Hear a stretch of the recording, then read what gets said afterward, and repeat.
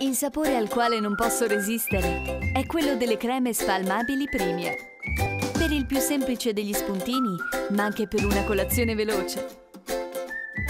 Provali! Ricetta classica con nocciole e cacao. E versione di gusto con la crema di sole nocciole.